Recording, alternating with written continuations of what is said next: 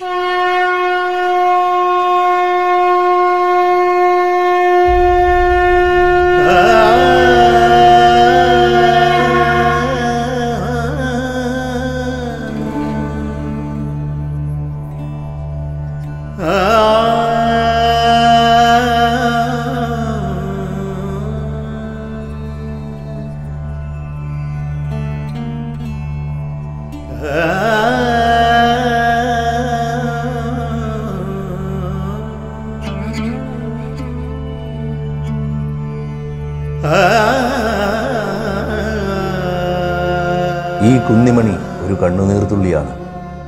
ആനന്ദചിന്മയമായ ബ്രഹ്മത്തിൽ നിന്നും വേർപെട്ടതെന്ന് സ്വയം കരുതുന്നൊരു ജീവൻ. എല്ലാറ്റിനും ഒടുവിൽ സമസ്തവും ചെന്ന് ലയിക്കുന്ന രണ്ട് കുഞ്ഞിക്കാലുകളിൽ അലിഞ്ഞു ചേരാനായി പ്രപഞ്ചത്തിന്റെ അമ്പലമുറ്റത്ത് കാത്തു കിടക്കുകയാണ്. എന്നായിരിക്കും ലയിച്ചു ചേരാനാവുക എന്ന വ്യാകുലതയുടെ കറുത്ത പൊട്ടിട്ട് ഒടുവിൽ ആ തൃപ്പാദങ്ങളിൽ ലയിച്ചു ചേരുമ്പോഴുള്ള ആനന്ദമോർത്ത് ചുവന്നു തൊടുത്ത് ഈ കുന്നിമണിക്കുള്ളിലും ചുറ്റിലും ഭക്തിയുടെ സാന്ദ്രാനന്ദബോധം ജ്വലിച്ചു നിൽക്കുന്നു. ഹൃദയം നിറഞ്ഞൊഴുകുന്ന സന്തോഷം കൊണ്ടും നെഞ്ചു നുറുങ്ങുന്ന വേദന കൊണ്ടും ഇടമുറിയാതെ പൊഴിയുന്ന കണ്ണുനീർത്തുള്ളികൾ ഇങ്ങനെ എണ്ണിയാലൊടുങ്ങാത്ത മഞ്ചാടിമണികളും കുന്നിമണികളുമായി ഈ പ്രപഞ്ചത്തിൽ ചിതറിക്കിടക്കുന്നു. ആത്മാന്വേഷിയായ ജീവന്റെ ഈ വിത്തുകളുടെയും അവരുടെ നാഥനായ നമ്മുടെ പൊന്നു ഗുരുവായൂരപ്പന്റെയും അവിടുത്തെ ഭക്തി സാമ്രാജ്യത്തിന്റെയും കഥയാണ് അഖിലം മധുരം. ഗുരുവായൂരിന്റെ ഇതിഹാസം. നാരായണ.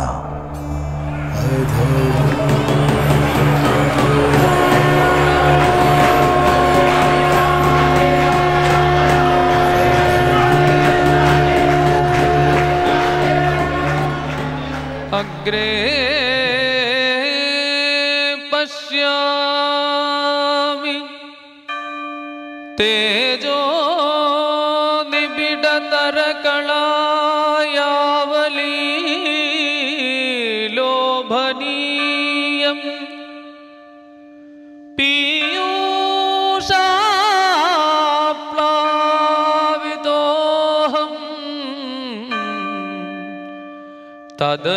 तदनु तदुदरे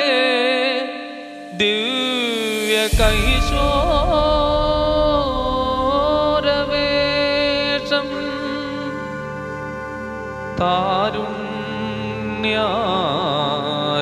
तारुण्यारम्भरम्यम् परमसुखरसास्वादरो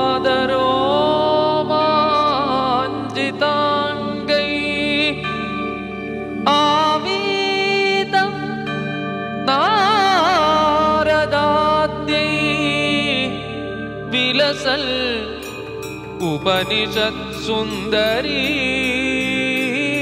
മണ്ഡലൈശ്ച. ഗുരുവായൂരപ്പ ഞാനിതാ മുന്നിൽ കാണുന്നു. അവിടുത്തെ സന്നിധിയിൽ കായാമ്പൂക്കൾ നിറഞ്ഞു നിൽക്കുന്ന പോലെ ഒരു നീല ശോഭ ഞാൻ കാണുന്നു. അത് കണ്ടിട്ട് അമൃതത്തിന്റെ കടലിൽ മുങ്ങിയ പോലെയുള്ള അനുഭൂതി എനിക്കുണ്ടാകുന്നു. ആ നീല വെളിച്ചത്തിന്റെ നടുക്കായിട്ട് കാരുണ്യത്തിന്റെ ആരംഭത്തിൽ നിൽക്കുന്ന അതിസുന്ദരനായൊരു ബാലകനെ എനിക്ക് കാണാനാവുന്നുണ്ട്. അവനു ചുറ്റും സുന്ദരിമാരുടെ രൂപത്തിൽ ഉപനിഷത്തുക്കളെയും രോമാഞ്ചം പൂണ്ടു നിൽക്കുന്ന നാരദൻ തുടങ്ങിയ മഹർഷിമാരെയും കാണുന്നു. മേൽപ്പത്തൂർ നാരായണ ഭട്ടതിരി ഗുരുവായൂർ ശ്രീലകത്ത് വിളങ്ങുന്ന ബ്രഹ്മതത്വത്തെ കൺകുളിർക്കെ കണ്ടെഴുതിയ വരികളാണിത്. നിത്യം ചിത്തസ്ഥിതമായ ആ തൃപാദങ്ങളിൽ സമർപ്പിക്കപ്പെട്ട ഭക്തി ഭട്ടതിരിക്ക് നൽകിയ അനശ്വരമായ ദർശനാനുഭൂതി. കിഴക്ക് നിന്നും ഗുരുവായൂർ നഗരത്തിലേക്ക് നമ്മൾ പ്രവേശിക്കുമ്പോൾ മഞ്ജുളാൽ എന്ന് പുകൾപെറ്റ അരയാൽ തറയിൽ നിന്ന് നോക്കിയാലും കുറച്ചുകൂടി മുന്നോട്ട് ചെന്ന് പഴയ തീയരമ്പലത്തിന്റെ അവശേഷിച്ച കൽവിളക്കിനരികിൽ നിന്ന് നോക്കിയാലും പിന്നെയും മുന്നോട്ട് ചെന്ന് കിഴക്കേ നടപ്പുര തുടങ്ങുന്നിടത്ത് ചെന്ന് നോക്കിയാലും അവിടുന്ന് പിന്നെയും നമ്മൾ നടന്ന് വലിയ ദീപസ്തംഭത്തിനടുത്ത് ചെന്ന് നോക്കിയാലും കിഴക്കേ ഗോപുരം കടന്ന് നാലമ്പലവാതിൽക്കൽ ചെന്ന് നോക്കിയാലും അവിടുന്നും മുന്നിൽ കടന്നു ചെന്ന് നമസ്കാര മണ്ഡപത്തിന് മുന്നിൽ ചെന്ന് നിന്ന് നോക്കിയാലും ഒടുക്കം സോപാനത്തിന് മുന്നിൽ ചെന്ന് നിന്ന് നോക്കിയാലും ഗുരുവായൂരപ്പ ഭക്തി വളർന്ന കണ്ണുകൾക്ക് ഭട്ടതിരിക്ക് കിട്ടിയ അവിടുത്തെ ദർശനാനുഭൂതി അവിടുന്ന് നിശ്ചയമായും നൽകും. ഇത് കാലത്തിന്റെ അനുഭവസാക്ഷ്യമാണ്. ഗുരുവായൂർ ലോകപ്രസിദ്ധമായ ഒരു സ്ഥലനാമം. ഭഗവാന്റെ ജീവസാന്നിധ്യം കൊണ്ട് അനുഗ്രഹിക്കപ്പെട്ട പാവനമായൊരു ഭൂമി. ഇന്നത്തെ തൃശൂർ ജില്ലയിലെ ചാവക്കാട് താലൂക്കിലാണ് ഗുരുവായൂർ പ്രദേശം സ്ഥിതി ചെയ്യുന്നത്. ബ്രിട്ടീഷ് ഭരണകാലത്ത് മദ്രാസ് സംസ്ഥാനത്തെ മലബാർ ജില്ലയിലെ പൊന്നാനി താലൂക്കിലെ അംശമായിരുന്നു ഗുരുവായൂർ. ആയിരത്തി തൊള്ളായിരത്തി അഞ്ചിലെ സെറ്റിൽമെന്റ് രജിസ്റ്റർ പ്രകാരം സർവേ നമ്പർ ഒന്ന് സബ് ഡിവിഷൻ നമ്പർ എൺപത്തേഴിൽ ഒരേക്കർ മുപ്പത്തിയൊന്ന് സെന്റിലായി ഗുരുവായൂർ അമ്പലവും. സർവേ ഒന്ന് സബ് ഡിവിഷൻ നമ്പർ എൺപത്തിയെട്ടിൽ ഒരേക്കർ നാൽപ്പത്തഞ്ച് സെന്റിലായി ഗുരുവായൂർ ക്ഷേത്രക്കുളവും രേഖപ്പെടുത്തിയിട്ടുണ്ട്. ഒരു സാധാരണക്കാരൻ ഗുരുവായൂർ ക്ഷേത്രത്തിന്റെ തിരക്കിലേക്ക് പ്രവേശിക്കുമ്പോൾ കണ്ണിലുടക്കുന്ന കുറേയേറെ സവിശേഷ കാഴ്ചകളുണ്ട്. ഗുരുവായൂരപ്പന്റെ രാജധാനിയിലേക്ക് നടന്നെത്തുമ്പോൾ ആദ്യം നമ്മെ വരവേൽക്കുന്നത് കിഴക്കേ തിരുനടയിലെ നൂറ്റി പന്ത്രണ്ട് വർഷം തികഞ്ഞ ഉന്നതവും ചരിത്രപ്രസിദ്ധവുമായ ദീപസ്തംഭമാണ്. ഒരു വിജയസ്തംഭം എന്ന പോലെയാണ് ഈ ദീപസ്തംഭം ഈശ്വരസാക്ഷിയായി പ്രതിഷ്ഠിക്കപ്പെട്ടതെന്നാണ് ശ്രീ രാമവർമ്മ അപ്പൻ തമ്പുരാൻ എഴുതിയിട്ടുള്ളത്. പാലക്കാട് മങ്കര സ്വദേശിയും കേരളീയരുടെ അഭിമാനഭാജനവും ബ്രിട്ടീഷ് വൈസ്രോയ്സ് കൗൺസിൽ അംഗവും സർവോപരി ഗുരുവായൂരപ്പന്റെ ഭക്തനുമായിരുന്ന സർ ചേറ്റൂർ ശങ്കരൻ നായരുടെ വകയായിരുന്നു ഈ ദീപസ്തംഭം. അക്കാലത്തെ പണ്ഡിത വരണ്യരും കവികുലപതികളുമായ അമ്പത്തിരണ്ടിലേറെ മഹാത്മാക്കൾ പാടി സ്തുതിച്ച നൂറു വർഷത്തിലേറെ പഴക്കമുള്ള ഒരു ദീപസ്തംഭം. ആയിരത്തി തൊള്ളായിരം ആണ്ട് മുതൽ ആയിരത്തി തൊള്ളായിരത്തി പതിനഞ്ച് വരെ ബ്രിട്ടീഷ് ഭരണാധികാരികളാൽ ഗുരുവായൂർ ക്ഷേത്രഭരണത്തിൽ സഹായിക്കുവാനായി പ്രത്യേകം നിയുക്തനായ കാര്യസ്ഥൻ ശ്രീ മേലേപ്പുറത്ത് കോന്തിമേനോൻ ക്ഷേത്രകാര്യങ്ങൾ അതീവ ശ്രദ്ധയോടും ഭക്തിയോടും കൂടി നടത്തിയിരുന്ന ഒരു മഹത് വ്യക്തിയായിരുന്നു. പട്ടാമ്പിക്കടുത്ത് പെരുമുടിയൂർ സ്വദേശിയായ അദ്ദേഹം ഏറെക്കാലം മജിസ്ട്രേറ്റായി സേവനമനുഷ്ഠിച്ച ശേഷമാണ് ഗുരുവായൂർ ക്ഷേത്രം കാര്യസ്ഥനായി നിയമിതനായത്.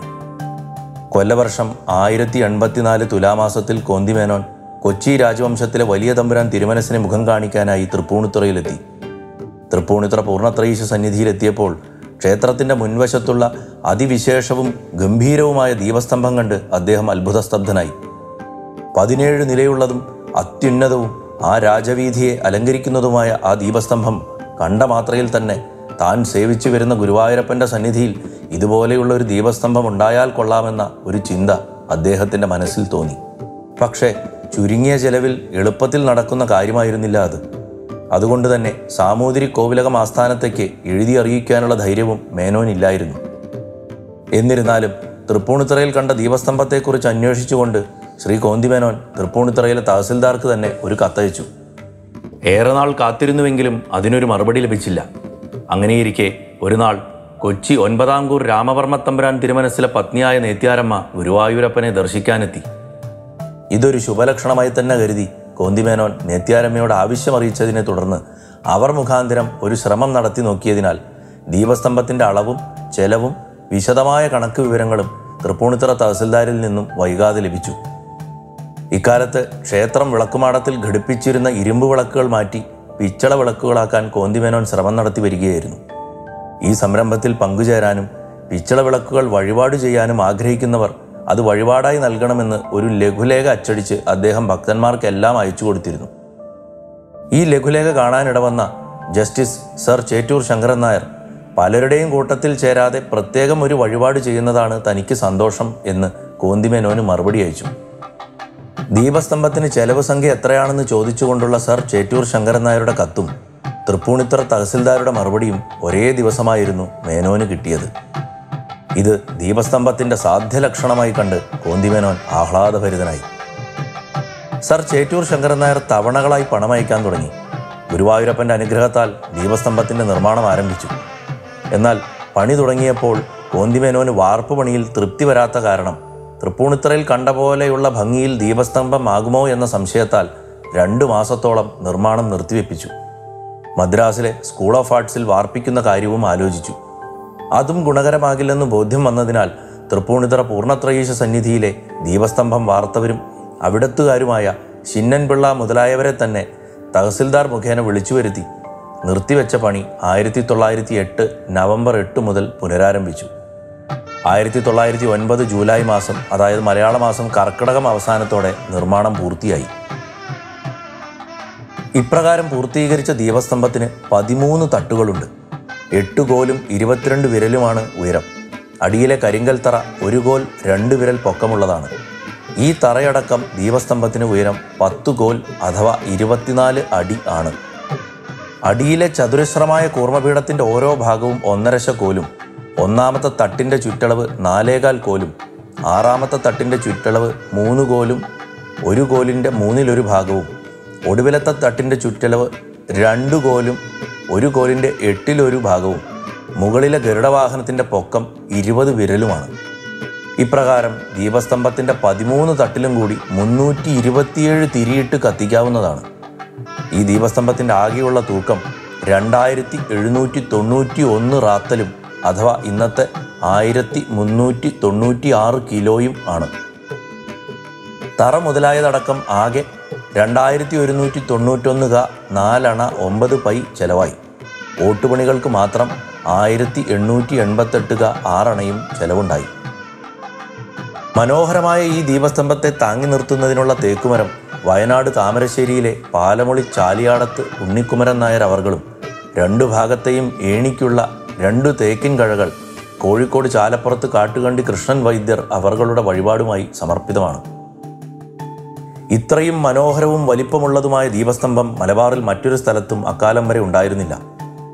ഇത്രയേറെ പ്രശസ്തി ആർജിച്ചതും മഹനീയമായതുമായ ആ ദീപസ്തംഭം ആയിരത്തി തൊള്ളായിരത്തി ഒൻപത് ഓഗസ്റ്റ് പതിനാറിന് അതായത് കൊല്ലവർഷം ആയിരത്തി എൺപത്തി അഞ്ച് ചിങ്ങമാസം ഒന്നാം തീയതി തിങ്കളാഴ്ച മകം നക്ഷത്രത്തിലാണ് ആദ്യമായി തെളിയിച്ച് ഗുരുവായൂരപ്പന് സമർപ്പിച്ചത്. അന്നേ ദിവസം സന്ധ്യയ്ക്ക് തന്ത്രവിധിപ്രകാരമുള്ള ചടങ്ങുകൾക്ക് ശേഷമാണ് ഏറ്റവും മുകളിലത്തെ തട്ടിൽ നെയ്യും മറ്റു തട്ടുകളിൽ വെളിച്ചെണ്ണ പകർന്നും ആ ദീപസ്തംഭം കത്തിച്ചത്. സർ ചേറ്റൂർ ശങ്കരൻ നായർ കുടുംബസമേതം ചടങ്ങിനെത്തിയിരുന്നു. അദ്ദേഹത്തോടൊപ്പം മറ്റനേകം പ്രഗത്ഭമതികളും അനവധി ഭക്തജനങ്ങളും ഒരു ഭവനപുരത്തിൽ എത്തിച്ചേരുകയും ഈ സൽക്കർമ്മത്തിന് സാക്ഷ്യം വഹിക്കുകയും ചെയ്തു. പാതിരാത്രി വരെ വിളക്കുകൾ തെളിഞ്ഞു കത്തുകയും വിളക്കുകൾ കെട്ട ഉടനെ മഴ പെയ്യുകയും ചെയ്തു എന്ന് പഴയ രേഖകളിൽ കാണാം. ദീപസ്തംഭം ജ്വലിക്കുന്നത് ദർശിക്കുവാൻ എത്തിയവരിൽ അനേകം കവികളും ഉണ്ടായിരുന്നു അവരെല്ലാം ദീപസ്തംഭത്തെക്കുറിച്ചുണ്ടാക്കിയ ശ്ലോകങ്ങൾ ആ സദസ്സിൽ വായിച്ചു. മറ്റു ചിലരാകട്ടെ ശ്ലോകങ്ങൾ കോന്തിമേനോൻ അയച്ചു കൊടുത്തു. കേരളവർമ്മ വലിയ ഗോയി Thampuran Vidwan Ettan Thampuran A R Rajaraja Varma Kodungallur Kunjukuttan Thampuran Ulloor S Parameswara Iyer Vallathol Narayana Menon K C Kesavapillai Kottarathil Sankunni Perinchery Ikkavamma Puthezhath Raman Menon എന്നിങ്ങനെ അമ്പത്തിയൊന്ന് ആചാര്യവര്യന്മാർ കവിതകളും ശ്ലോകങ്ങളും ആദ്യം എഴുതി കൊടുത്തു മേനോൻ ആവശ്യപ്പെട്ടതനുസരിച്ച് പുന്നശ്ശേരി തമ്പി നീലകണ്ഠ ശർമ്മ നൂറ്റിയൊന്ന് സംസ്കൃത ശ്ലോകങ്ങൾ വേറെയും എഴുതി അയച്ചു. അങ്ങനെ മുന്നൂറ്റി ഇരുപത്തിയാറ് ശ്ലോകങ്ങളായി. ഒരു ശ്ലോകവും കൂടിയായാൽ ദീപസ്തംഭത്തിൽ കൊളുത്തുന്ന തിരികളുടെ എണ്ണം തന്നെ ശ്ലോകങ്ങൾക്കും വരുമെന്ന് കരുതി കുണ്ടൂർ നാരായണ മേനോൻ ഒരെണ്ണം കൂടി എഴുതി കൊടുത്തു. അപ്പോൾ ശ്ലോകങ്ങൾ മുന്നൂറ്റി ഇരുപത്തിയേഴായി ഈ മുന്നൂറ്റി ഇരുപത്തിയേഴ് ശ്ലോകങ്ങളും കോന്തിമേനോന്റെ പീഠികയും ചേർത്ത് ഗുരുവായൂർ ദീപസ്തംഭം എന്ന ശീർഷകത്തിൽ ഒരു പുസ്തകം ഗുരുവായൂർ ദേവസ്വം ആയിരത്തി എൺപത്തഞ്ച് തുലാം ഇരുപത്തഞ്ചിന് അതായത് ആയിരത്തി തൊള്ളായിരത്തി ഒമ്പത് നവംബർ പത്തിന് പ്രസിദ്ധീകരിച്ചു. പുന്നശ്ശേരി നമ്പി എഴുതിയ നൂറ്റിയൊന്ന് ശ്ലോകങ്ങളിലൊന്ന് ഗുരുവായൂരപ്പന് ഒരു സ്വർണക്കൊടിമരം കൂടി ഉണ്ടാകണേ എന്ന പ്രാർത്ഥനയായിരുന്നു. ഏതാണ്ട് നാൽപ്പത്തിമൂന്ന് വർഷങ്ങൾക്ക് ശേഷം ആയിരത്തി തൊള്ളായിരത്തി അൻപത്തിരണ്ടിൽ അതും സഫലമായി.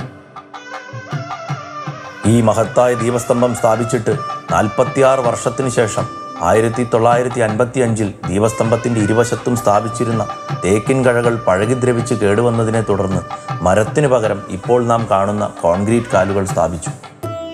ഇന്നും പല ചരിത്ര സംഭവങ്ങൾക്കും സാക്ഷ്യം വഹിച്ചുകൊണ്ട് ഗുരുവായൂരപ്പന്റെ തിരുസന്നിധിയിൽ ഈ ദീപസ്തംഭം നിത്യേന എന്നോണം ഭക്തജനങ്ങൾക്ക് കാണാനും ദീപം തെളിയിക്കാനും ഒരു ചരിത്ര സ്മാരകമായി നിലകൊള്ളുന്നു.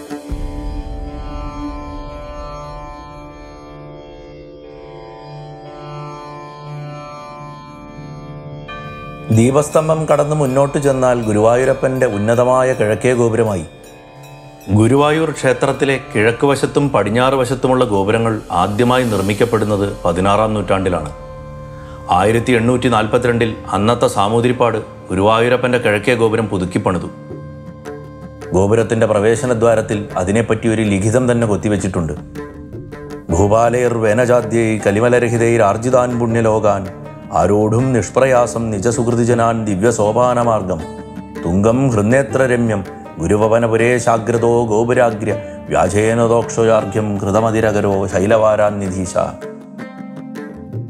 സാമൂതിരിപ്പാടിന് സ്വർഗത്തിലേക്ക് കയറി ചെല്ലാനുള്ള സോപാനപ്പടിയായിട്ടാണ് ഈ ശ്ലോകത്തിൽ കിഴക്കേ ഗോപുരത്തെ സങ്കല്പിച്ചിരിക്കുന്നത് ആദ്യ വരിയിൽ ഗോപുരം പണിതീർത്ത കലിവർഷ സംഖ്യയും നിബന്ധിച്ചിട്ടുണ്ട്. ഭീമാകാരമായ ഗോപുരവാതിലിന്റെ പുറമേയുള്ള പാളികളിൽ ഭഗവാന്റെ പത്ത് അവതാരങ്ങളുടെയും അതിമനോഹരങ്ങളായ ദാരുശില്പങ്ങളാൽ അലങ്കരിച്ചിട്ടുണ്ട്. ഗോപുരത്തിന് മുൻവശത്തെ കരിങ്കൽ തൂണുകൾക്ക് ആറടിയോളം ഉയരമുണ്ട്. രണ്ടായിരത്തി പതിനൊന്ന് ഓഗസ്റ്റ് എട്ടിന് കുംഭകോണം ഗുരുവായൂരപ്പ ഭക്തസേവാ സംഘം ഈ ആറ് തൂണുകളും കവാടത്തിന്റെ കട്ടിളയും വെള്ളിയിൽ പൊതിഞ്ഞ് ഗുരുവായൂരപ്പന് സമർപ്പിച്ചു. കുംഭകോണം ബാലസുബ്രഹ്മണ്യൻ എന്ന ശില്പിയുടെ നേതൃത്വത്തിൽ പത്തോളം ശില്പികളാണ് നൂറ് കിലോയോളം വെള്ളി ഉപയോഗിച്ച് തൂണുകളും കട്ടിളയും പൊതിഞ്ഞത്. കിഴക്കേ ഗോപുരത്തിന്റെ അകത്തും പുറത്തുമായി നിരവധി ചിത്രപ്പണികളും ശില്പവേലകളും ചുവർച്ചിത്രങ്ങളും കാണുവാനും സാധിക്കും.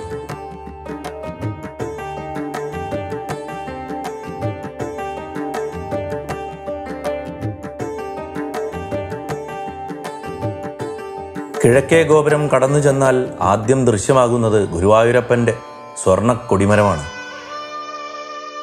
ആയിരത്തി തൊള്ളായിരത്തി അമ്പത്തിരണ്ട് ഫെബ്രുവരി അഞ്ചാം തീയതി അതായത് കൊല്ലവർഷം ആയിരത്തി ഒരുന്നൂറ്റി ഇരുപത്തിയേഴ് മകരമാസം ഇരുപത്തിരണ്ടിന് ചൊവ്വാഴ്ച രാത്രിയിൽ മകീരം നക്ഷത്രത്തിൽ വൃശ്ചികരാശിയാകുന്ന ശുഭമുഹൂർത്തത്തിലാണ് ഇന്ന് കാണുന്ന ഗുരുവായൂരപ്പന്റെ പൊന്നിൻ കൊടിമരം സ്ഥാപിച്ചതെന്ന് കൊടിമരത്തറയിലെ ശിലാലിഖിതം സാക്ഷ്യപ്പെടുത്തുന്നു. ലോഹേശാത്മധ്വജഡ്ഢേ കലിരഹിതമഹാഹായനേ സുപ്രപൂജ്യേ നക്രേദ്വാവിംശകേർക്കേ കുജദിന ശശിഭേ സുത്രിയാമാളിലഗ്നേ. ആരോടും ദിവ്യലോകാൻ പരപുരുഷധനൈ ദിവ്യസോപാനമാർഗം. കെസിയം ഡിസിരാജധ്വജതരുമകരോശ്ചൈലപാധോധിനാഥ. എന്ന ഈ ശ്ലോകമാണ് കൊടിമരത്തറയിലെ കരിങ്കല്ലിൽ കൊത്തിവെച്ചിട്ടുള്ളത്. അന്നത്തെ ക്ഷേത്രം തന്ത്രി ചേന്നാസ് മനക്കൽ പരമേശ്വരൻ നമ്പൂതിരിപ്പാടിന്റെ സാന്നിധ്യത്തിൽ ഓദിക്കന്മാരായ മുന്നൂലം ഭവൻ നമ്പൂതിരി പൊട്ടക്കുഴി ആര്യൻ നമ്പൂതിരി പഴയത്ത് ഇട്ടിരവി നമ്പൂതിരി എന്നിവരായിരുന്നു എട്ടു ദിവസം നീണ്ട ചടങ്ങുകളുടെ ക്രിയാഭാഗം നിർവഹിച്ചത്. ഈ കാട്ട് പുരുഷോത്തമൻ നമ്പൂതിരിയായിരുന്നു സദസ്യൻ. ഗുരുവായൂരപ്പന്റെ തന്ത്രിസ്ഥാനം വഹിച്ചുള്ള ആദ്യ ചടങ്ങായിരുന്നു ചേന്നാസ് പരമേശ്വരൻ നമ്പൂതിരിപ്പാടിന്. ക്രിയ സംബന്ധിച്ച് തനിക്ക് ലഭിച്ച അവകാശങ്ങളെല്ലാം അദ്ദേഹം ഗുരുവായൂരപ്പന് വഴിപാടായി സമർപ്പിച്ചു അത്രേ നാരായണ.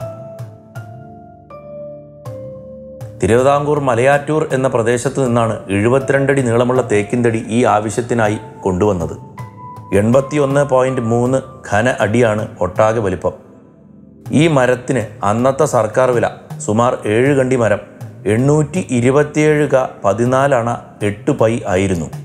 തിരുവിതാംകൂർ മഹാരാജാവായിരുന്ന ശ്രീ ചിത്തിര തിരുനാൾ ബാലരാമവർമ്മയാണ് ഈ മരം ഗുരുവായൂരപ്പന് വഴിപാടായി സമർപ്പിച്ചത്. കനോലിക്കനാൽ വഴി ചാവക്കാടിനടുത്ത് ചക്കംകണ്ടം വരെ ജലമാർഗമായും അവിടുന്ന് കൂട്ടുങ്ങൽ വഴി കുറേയേറെ കാളവണ്ടികൾ ഒരു നിരയാക്കി വെച്ച് അവയിൽ വെച്ച് ക്ഷേത്ര പരിസരത്തേക്ക് എത്തിക്കുകയും ചെയ്തു. പടിഞ്ഞാറ് വശത്തെ പഴയ ഊട്ടുവരിയുടെ പടിഞ്ഞാറേ ഭാഗം കുറച്ച് പൊളിച്ച് ഗുരുവായൂർ കേശവനാനയെ കൊണ്ട് തള്ളി നീക്കിച്ച് ഊട്ടുവരയിലേക്ക് കയറ്റുകയാണ് ഉണ്ടായതെന്ന് പഴമക്കാർ പറയുന്നു. ആയിരത്തി തൊള്ളായിരത്തി അമ്പത്തൊന്ന് ജൂൺ പതിനൊന്നിന് വാദ്യഘോഷങ്ങളോടെ കഴകക്കാരൻ കുത്തുവിളക്ക് പിടിച്ച് ക്ഷേത്രമൂരാളൻ മരം ഏറ്റെടുക്കുന്ന ദാരുപരിഗ്രഹം എന്ന ചടങ്ങ് നടന്നു. ഇതേ മാസത്തിൽ തന്നെ പഴയ കൊടിമരം പൊളിച്ചു നീക്കുകയും ചെയ്തു. കൊടുങ്ങല്ലൂർ കുട്ടനാശാരിയും അദ്ദേഹത്തിന്റെ പുത്രനുമാണ് തേക്കിൻതടിയെ ചെത്തി വൃത്തിയാക്കി കൊടിമരത്തിന് രൂപപ്പെടുത്തിയെടുത്തത്. മണ്ണിനടിയിൽ മരത്തിന്റെ അഞ്ച് അടി ചതുരാശ്രയത്തിലും അതായത് ചതുരാകൃതിയിലും അവിടെ നിന്ന് മൂന്നടി അഷ്ടാശ്രയത്തിലും അതായത് എട്ട് മുഖങ്ങളോടുകൂടിയും ബാക്കി മുകൾ ഭാഗം മുഴുവൻ വൃത്രാകൃതിയിലുമാണ്. കൊടിമരത്തിന്റെ ഇപ്പോഴത്തെ നീളം അറുപത്തഞ്ച് അടിയാണ്. മരത്തിൽ തുണി ചുറ്റി ആറുമാസം നിത്യവും മൂന്ന് നേരം വയമ്പ് മഞ്ഞൾ കുങ്കുമം എന്നിവ അരച്ചു ചേർത്ത നല്ലെണ്ണ കൊണ്ട് ധാര ചെയ്ത് സ്നിഗ്ധവും മുഗ്ധവുമാക്കി തീർത്തു. ഇക്കാലം അത്രയും പഴയ ഊട്ടുവരയിൽ സജ്ജീകരിച്ച എണ്ണത്തോണിയിലാണ് മരം നിക്ഷേപിച്ചിരുന്നത്. ഭക്തജനങ്ങൾക്കും എണ്ണ സമർപ്പിക്കാൻ അവസരം നൽകിയിരുന്നു. കൊടുങ്ങല്ലൂർ വേലപ്പനാചാരിയുടെ നേതൃത്വത്തിൽ നാൽപ്പത് പേരോളം വരുന്ന ഒരു സംഘമാണ് ആദ്യം ചെമ്പിടി തകിട് പൊതിഞ്ഞ് പിന്നെ സ്വർണം പൂശിയത്. എഴുന്നൂറ്റി ഒമ്പതേ മുക്കാൽ തോല സ്വർണവും ആറായിരം കയോളം പണിക്കൂലിയും ചെലവുണ്ടായി. സ്വർണം ദേവസ്വം സ്റ്റോക്കിൽ തന്നെ ഉണ്ടായിരുന്നു.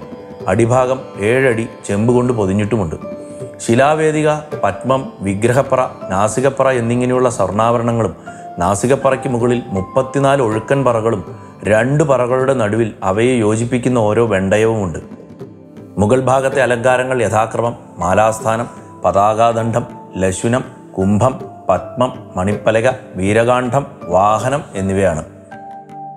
എല്ലാറ്റിനും മുകളിലായിട്ടാണ് വാഹനം അതായത് ഗരുഡ വാഹനം. വീരകാന്ഡം ഉൾപ്പെടെ രണ്ടരടി ഉയരമുണ്ടതിന് മുകളിൽ മണിപ്പലകയുടെ നാലു കോണുകളിലും ദണ്ഡാഗ്രത്തിലും ഓരോ മണികളുമുണ്ട്. മണിനാക്കിന് താഴെ ആലിലയുടെ ആകൃതിയിൽ പരന്ന ഓരോ തൊങ്ങലുമുണ്ട്. ഇവ കാറ്റിലാടുമ്പോൾ മണികളുടെ കിങ്ങിണിക്കിലുക്കം താഴെ നിൽക്കുന്നവർക്ക് കേൾക്കാവുന്ന വിധമാണ് ഉറപ്പിച്ചിട്ടുള്ളത്. താഴെ മരമുറപ്പിച്ചു നിർത്താനുള്ള ആധാരശിലയിന്മേൽ വൈഡൂര്യം പുഷ്യരാഗം മാണിക്യം മുത്ത് ഗരുഡശില എന്നിങ്ങനെ പഞ്ചരത്നങ്ങളും സ്വർണവും പതിച്ച് അതിനു മുകളിലാണ് കൊടിമരം സ്ഥാപിച്ചിട്ടുള്ളത്. ഭക്തജനങ്ങൾ ധ്വജസ്ഥാപന വേളയിൽ രത്നങ്ങൾ സ്വർണാഭരണങ്ങൾ സ്വർണം വെള്ളി മുതലായ നാണ്യങ്ങൾ എന്നിങ്ങനെ അനേകം അമൂല്യ വസ്തുക്കൾ ഭക്തിപൂർവം നാമസങ്കീർത്തനത്തോടെ ധ്വജസ്തംഭത്തിന്റെ കുണ്ഠത്തിൽ സമർപ്പിച്ചു അത്രേ കോണത്ത് ശങ്കരവാര്യരും തൃപ്പൂണിത്തുറ ദേവസ്വം ഓവർസിയർ ഈശ്വരവാര്യരുമായിരുന്നു സാങ്കേതിക ഉപദേശകന്മാർ. തയ്യാറാക്കിയ മരത്തിനെ ഊട്ടുപുരയിൽ നിന്നും പുറത്തെടുക്കാൻ ഊട്ടുപുരയുടെ തെക്കുകിഴക്കേ മൂല പൊളിച്ചു. കൂത്തമ്പലത്തിനടുത്തേക്ക് ഇത് എത്തിച്ചു. തെക്കു നിന്നും വടക്കോട്ടുയർത്തിയാണ് മരം സ്ഥാപിച്ചത്. അങ്ങനെ ഉയർത്തുമ്പോൾ സാധാരണഗതിയിൽ നടപ്പുരയുടെ തെക്കുഭാഗം മുതൽ നടുഭാഗം വരെ പൊളിക്കേണ്ടി വരും. എന്നാൽ അത് ഒഴിവാക്കിക്കൊണ്ടാണ് മരം ഉയർത്തിയത്. തൃപ്പൂണിത്തറയിലെ പന്തൽ പണിക്കാരായ രണ്ട് മൂപ്പന്മാരെയാണ് അതിന് ഗുരുവായൂരപ്പൻ കൊണ്ടുവന്നത്. അതിലെ പ്രധാനിയുടെ പേര് മാരുതി എന്നായിരുന്നു. നടുഭാഗത്തു നിന്നും ഏതാനും ഓടുകൾ മാത്രം നീക്കി നടപ്പര പൊളിക്കാതെ മാരുതിയും സംഘവും മരമുയർത്തി. ക്രെയിൻ മുതലായ സാങ്കേതിക വിദ്യകളില്ലാതെ മുളയും കയറും മാത്രമാണ് ഇതിനുപയോഗിച്ചത് മൂന്ന് ദിവസത്തോളം നീണ്ട അവരുടെ പ്രയത്നഫലമായി കൊടിമരം ഉയർത്തി നിർത്തി ഉറപ്പിച്ചു. പ്രതിഫലമായി എന്താണ് വേണ്ടത് എന്ന് ചോദിച്ചപ്പോൾ നിഷ്കളങ്കനായ മാരുതി പറഞ്ഞു അത്രേ. അവിടെ വെച്ചിരുന്ന ഒരു പാത്രം കലശപായസം ചൂണ്ടിക്കാണിച്ചിട്ട് ഗുരുവായൂരപ്പന്റെ കലശപ്പായസം കിട്ടിയാൽ മതി എന്ന്. ഗുരുവായൂരപ്പ. മരം സ്ഥാപിച്ച ശേഷം ചുറ്റുപാടും ചാരുകല്ലുകൾ നിരത്തി നിലദാനം വരെ കോൺക്രീറ്റ് ഇട്ട് ഉറപ്പിച്ച് നിലദാനത്തിൽ നിന്ന് മൂന്നടി ഉയരത്തിൽ കരിങ്കൽ തറ കെട്ടി. തുടർന്ന് സ്വർണാഭരണങ്ങളെല്ലാം തന്നെ കൊടിമരത്തിന്റെ അഗ്രഭാഗത്തു കൂടെ താഴേക്ക് ഇറക്കുകയാണത്രേ ചെയ്തത്. കിഴക്കേ നടപ്പുരയിൽ കൊടിമരത്തിന് വടക്കും തെക്കുമായി ഓരോ ദീപസ്തംഭങ്ങൾ കാണാം. അതിൽ വടക്ക് വശത്തുള്ള ദീപസ്തംഭത്തിന് ഒരു ചരിത്ര കഥ പറയാനുണ്ട്. Kalpally Karunakara Menon British east India കമ്പനിയുടെ ഒരു ഉദ്യോഗസ്ഥനായി മുപ്പത്തിമൂന്ന് വർഷം സേവനം ചെയ്ത് പെൻഷൻ പറ്റി. പ്രഗത്ഭ സേവനം മാനിച്ച് അദ്ദേഹത്തിന് മാസ ശമ്പളത്തിന് തുല്യമായ പെൻഷൻ തുക തന്നെ കമ്പനി അനുവദിച്ചു. അന്നത്തെ മുന്നൂറ്റി അൻപത് രൂപ. ടിപ്പുവിന്റെ പതനശേഷം മദ്രാസ് ഗവൺമെന്റ് കരുണാകര മേനോനെ ഇന്നത്തെ കർണാടകത്തിലെ കുടകിലേക്ക് ദൂതനായി അയച്ചു. ടിപ്പുവിന്റെ കൈപ്പിടിയിൽ നിന്ന് സ്വതന്ത്രനായ കുടകിലെ രാജാവ് അക്കാലത്ത് ഈസ്റ്റ് ഇന്ത്യ കമ്പനിയുമായി ഇടഞ്ഞു നിൽക്കുകയായിരുന്നു. രാജാവ് ദൂതനായ കരുണാകര മേനോനെ പിടിച്ചു തടവിലിട്ടു. പിറ്റേ ദിവസം വധിച്ചു കളയാനും കൽപ്പിച്ചു. ബന്ധനസ്ഥനായ കരുണാകര മേനോൻ ജീവഭയത്താൽ ഗുരുവായൂരപ്പനെ വിളിച്ച് കേണുകയുണ്ടായി. തന്നെ രക്ഷിച്ചാൽ ഒരു ദീപസ്തംഭം ഗുരുവായൂർ നടക്കൽ സ്ഥാപിക്കാമെന്ന് അദ്ദേഹം പ്രാർത്ഥിച്ചു ദൂതനായ മേനോനെ ബന്ധനത്തിലാക്കിയ വാർത്തയറിഞ്ഞ് അന്ന് രാത്രി തന്നെ ഇംഗ്ലീഷ് പട്ടാളം കുടക ആക്രമിക്കുകയും മേനോനെ രക്ഷിക്കുകയും തുടർന്ന് ആ നാട് പിടിച്ചെടുത്ത് മദ്രാസ് പ്രവിശ്യയോട് കൂട്ടിച്ചേർക്കുകയും ചെയ്തു. തടവിൽ നിന്ന് മോചിതനായ കരുണാകര മേനോൻ ഗുരുവായൂരപ്പന് ആയിരത്തി എണ്ണൂറ്റി മുപ്പത്തി മൂന്ന് അതായത് കൊല്ലവർഷം ആയിരത്തി ഒമ്പതാം ആണ്ടിൽ ഇടവമാസത്തിൽ ക്ഷേത്രം മതിൽക്കകത്ത് അറുന്നൂറ്റി പതിനാറ് റാത്തൽ ഏകദേശം മുന്നൂറ്റിയെട്ട് കിലോ തൂക്കമുള്ള പത്ത് തട്ടുകളോടുകൂടിയ ഒരു ദീപസ്തംഭം സമർപ്പിക്കുകയും ചെയ്തു. രണ്ടായിരത്തി ഒമ്പതിൽ കാലപ്പഴക്കം ചെന്ന ദീപസ്തംഭം മാറ്റി പുതിയ ഒന്നാണ് ഇപ്പോഴുള്ളത്. പഴയതിന്റെ തറ അവിടെ അവശേഷിച്ചിരിക്കുന്നു. കൊടിമരത്തിന്റെ തെക്കുവശത്തായി ആയിരത്തി എണ്ണൂറ്റി എൺപത്തിരണ്ട് കൊല്ലവർഷം ആയിരത്തി അമ്പത്തി എട്ട് കർക്കിടക മാസം ഇരുപത്തഞ്ചിന് എറമ്പള്ളി കുഞ്ചുണ്ണി നായർ എന്ന ഭക്തന്റെ വകയായി ഒമ്പത് തട്ടുകളുള്ള മറ്റൊരു ദീപസ്തംഭവും സ്ഥാപിച്ചിരുന്നു. ഈ ദീപസ്തംഭത്തിന്റെയും തറ മാത്രമേ ഇന്നുള്ളൂ. അതിനു മുകളിൽ പുതിയ ഒരെണ്ണമാണുള്ളത്. കൊടിമരവും കണ്ട് ഇടത്തോട്ട് പ്രദക്ഷിണമായി ചെല്ലുമ്പോൾ തെക്ക് കിഴക്ക് ഭാഗത്ത് അതിപ്രൗഢവും ദിവ്യവുമായ ഗുരുവായൂരപ്പന്റെ കൂത്തമ്പലം കാണാം. പൗരാണിക കാലത്ത് പ്രാചീന ബർഹിസിന്റെ പുത്രന്മാരായ പ്രചേതസ്സുകൾ ശ്രീ മഹാദേവൻ ഉപദേശിച്ച രുദ്രഗീതം കൊണ്ട് ഭഗവാൻ നാരായണനെ തപസ്സു ചെയ്തതും പൊന്നുണ്ണിക്കണ്ണൻ വില്ലുമംഗലം സ്വാമിയാരുടെ സാന്നിധ്യത്തിൽ ഭക്തനും കൃഷ്ണനാട്ടകർത്താവുമായ മാനവേദ സാമൂതിരിക്ക് ദർശനം നൽകിയതും അതിനു സാക്ഷിയായ ഇലഞ്ഞിമരം നിന്നിരുന്നതും ഇന്ന് കൂത്തമ്പലം നിൽക്കുന്ന സ്ഥാനത്താണ്. കൂടല്ലൂർ കുഞ്ഞിക്കാവ് തമ്പുരാന്റെയും ഭക്തശിരോമണി വാഴക്കുന്നം വാസുദേവൻ നമ്പൂതിരിപ്പാടിന്റെയും മേക്കാട് നീലകണ്ഠ സദ്ഗുരുവിന്റെയും തോട്ടം വാസുദേവൻ നമ്പൂതിരിയുടെയും തിരുനാമാചാര്യൻ ആഞ്ഞം മാധവൻ നമ്പൂതിരിയുടെയും എന്നിങ്ങനെ എത്രയോ ഭക്തോത്തമന്മാരുടെ അനവധി നാമജപങ്ങളും ഭാഗവത പാരായണങ്ങളും മുഴങ്ങിയ പുണ്യസ്ഥാനം. നിത്യേന വേദജപം നടക്കുന്നതും കൂടിയാട്ടവും ചാക്യാർകൂത്തും അവതരിപ്പിക്കുന്നതും ഏകാദശി വിളക്കിന്റെ സമാപനത്തിൽ ഭക്തർ ദ്വാദശിപ്പണം സമർപ്പിക്കുന്നതും വർഷം തോറും സഹസ്രകലശത്തിന് പ്രധാന വേദി ഒരുങ്ങുന്നതും ഈ കൂത്തമ്പലത്തിൽ തന്നെയാണ്. ആയിരത്തി തൊള്ളായിരത്തി എഴുപതിലെ അഗ്നിബാധയെ തുടർന്ന് ശ്രീകോവിലിൽ നിന്നും ഗുരുവായൂരപ്പന്റെ മഹാവിഗ്രഹം തന്ത്രിമഠത്തിലേക്ക് എത്തിക്കും മുൻപ് ഏതാനും മണിക്കൂറുകൾ കൊണ്ടുവന്ന് സുരക്ഷിതമായി വെച്ചതും ഇവിടെ തന്നെയായിരുന്നു. ഗുരുവായൂർ ക്ഷേത്രത്തിലെ ഇന്നുള്ളതിൽ വെച്ച് ഏറ്റവും പഴക്കമേറിയ നിർമ്മിതി കൂത്തമ്പലമാണ്. പതിനാറാം നൂറ്റാണ്ടിലാണ് കൂത്തമ്പലം പണികഴിപ്പിക്കപ്പെട്ടത്. കൂത്തമ്പലത്തിന്റെ അകത്തെ മണ്ഡപത്തിൽ മൃദംഗോപനയനം കഴിപ്പിച്ച ദിവ്യവാദ്യമായ മിഴാവ് സ്ഥാപിച്ചിരിക്കുന്നു. രണ്ടായിരത്തി പത്തൊമ്പത് ഇരുപത് കാലത്ത് Guruvayur Devaswom T V S motor കമ്പനിയുടെ സഹായത്തോടുകൂടി കൂത്തമ്പലത്തിന്റെ നവീകരണം നടത്തുകയുണ്ടായി. Kanippayyur Krishnan Namboothiripad architect M M Vinod Kumar Elavally Sivadasan Achari എന്നിവരുടെ നേതൃത്വത്തിലായിരുന്നു നവീകരണം. ഈ പ്രവർത്തനത്തിന് ഏഷ്യ പസഫിക് പ്രദേശത്തെ മികച്ച പൈതൃക സംരക്ഷണ പദ്ധതിക്കുള്ള രണ്ടായിരത്തി ഇരുപതിലെ യുനെസ്കോ പുരസ്കാരം ഗുരുവായൂർ ദേവസ്വത്തിന് ലഭിക്കുകയുണ്ടായി. കൂത്തമ്പലം ദർശിച്ച് തെക്ക് ഭാഗത്തേക്ക് തിരിയുമ്പോൾ പ്രദക്ഷിണ വഴിക്ക് തൊട്ടു വടക്കായി പടിഞ്ഞാട്ട് ദർശനമായിരിക്കുന്ന ഉപദേവനായ ശാസ്താവിന്റെ ശ്രീകോവിൽ കാണാം. ആയിരത്തി തൊള്ളായിരത്തി എഴുപതിലെ അഗ്നിബാധയ്ക്ക് ശേഷം പുതുക്കിപ്പണിതതാണ് ഈ ശ്രീകോവിൽ. ചുറ്റമ്പലത്തിന്റെ പടിഞ്ഞാറ് ഭാഗത്തേക്ക് നമ്മൾ നടന്നു നീങ്ങുമ്പോൾ വലതുവശത്തായി പതിനൊന്ന് തട്ടുകളായി നിരന്ന് നിലകൊള്ളുന്ന അതിമനോഹരമായ വിളക്കുമാടത്തിന്റെ ഇടമുറിയാത്ത സൗന്ദര്യം ദർശിക്കാം. ഇടതുവശത്തായി പടിഞ്ഞാറ് ഗോപുരവും കാണാം. ഗുരുവായൂരപ്പന്റെ നാലമ്പലത്തിന് പടിഞ്ഞാറ് വശത്ത് ചുറ്റമ്പലത്തിലേക്ക് തുറക്കുന്ന വാതിലുകൾ ഒന്നുമില്ല എന്നത് ശ്രദ്ധേയമാണ്. പതിനഞ്ചാം നൂറ്റാണ്ടിൽ മാനവിക്രമൻ സാമൂതിരിപ്പാട് അക്കാലത്തെ ഒരു വിഭാഗം ക്ഷേത്രപ്രവർത്തിക്കാരെ രാജ്യദ്രോഹത്തിന് പുറത്താക്കി പടിയടച്ചു പിണ്ഡം വെച്ചതിന്റെ അടയാളമായി പടിഞ്ഞാറ് വശത്തെ നാലമ്പലവാതിൽ അടച്ചു കെട്ടിയതാണ്. വാതിലിന്റെ സ്ഥാനത്താണ് ഇന്ന് നാലമ്പലത്തിനകത്ത് നാം കാണുന്ന അനന്തശയനം. പടിഞ്ഞാറെ ഗോപുരത്തിന് കീഴിൽ ചെന്ന് കിഴക്കോട്ട് നോക്കിയാൽ ഗുരുവായൂരപ്പന്റെ ശ്രീകോവിലിന്റെ പൊന്നിൽ പൊതിഞ്ഞ മേൽക്കൂരയും അതിനും അപ്പുറത്ത് കൊടിമരത്തിന് മുകളിലെ സ്വർണഗരുഡനെയും ദർശിക്കാം. മുൻപ് സൂചിപ്പിച്ച പോലെ പതിനാറാം നൂറ്റാണ്ടിലാണ് പടിഞ്ഞാറെ ഗോപുരവും പണി പണികഴിപ്പിച്ചിട്ടുള്ളത്.